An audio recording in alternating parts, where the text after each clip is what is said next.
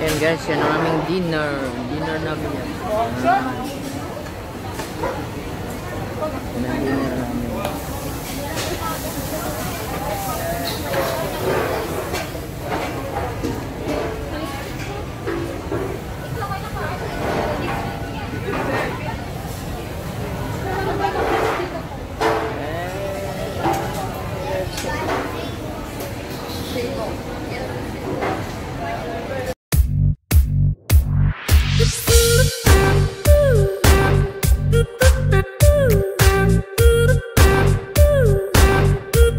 Hi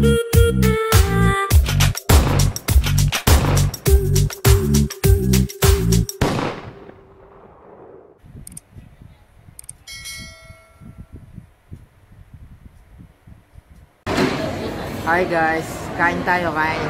Ayan ang dinner namin. Dinner ko. Yum yum. Yum yum. Kain tayo guys, kain na. Broccoli. Mm.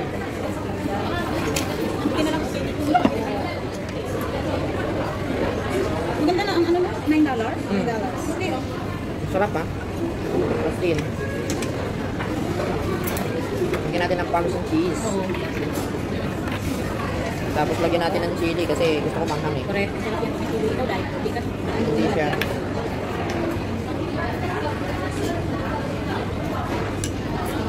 Puro mo sa sunod. Ano tayo? Wow. Yum guys. Have some dinner. Oh, nalaglag na yung namin ba? Guys.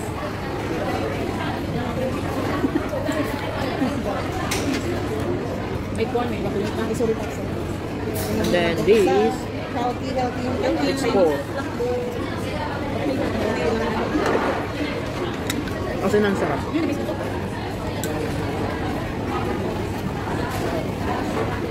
Yun, nabis ko. Masarap din pati ang baby nila, no? Yeah. Masarap siya. Kahit hindi ganyan, minsan.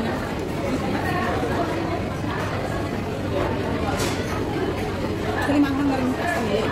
Ah, Yeah. ano na rin siya? Parang yun itong sa kabilang side na ano natin. Double thumbs up. Recommended to, masarap. My favorite. Yummy. Manood niya ako. See you again.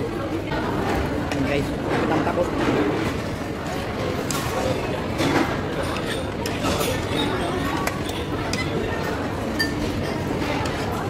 Pwede ba yung live mo sa Facebook, yung ikat mo pag-upload sa YouTube? Ay, hindi. Hindi, wala. Hindi mo ma-isave yun. Hindi. Mag-i-stay yung timeline mo mo. May mga bakit? Atay mo, Koy. Yum. Hindi pa. Hindi ko pa na-try.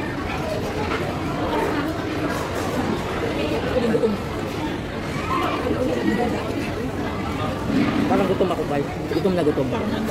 Mm, sauce. Tsaka okay din yung baby nila, no? Well, Mm. Oo nga, grill and barbecue. Oo. Oo nga pala. Nakiki, nakiki ano siya? Ko sa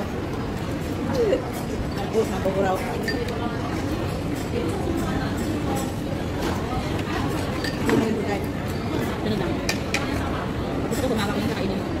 Parang kahapon. Pumunta ako dun sa ano. Na sila Mac. Punggol ba?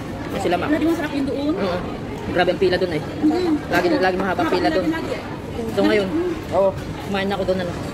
Sabi ko sa iyo eh, pinilit ko talagang hindi magkamay. Ay, kahit buto yan, naikinidondor ko talaga ah. Talagang sa kumbol ka pumunta?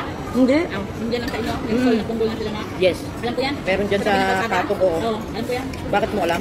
Yan ang nakatira sa namin sa red. Ah, Tapos kami na analit, makain kami sa opisina niyan. Diba may ano yan dyan, parang may Indian na kainan. Pagdating Oo. ng pansit, kaya alam ko nakikita ko yan. Yan, dinadaanan ko yan dati pag umuwi. Sa nalurog akong patiran ko yung 2014. ha? Mm-mm. Kaya sabi ko na Hindi.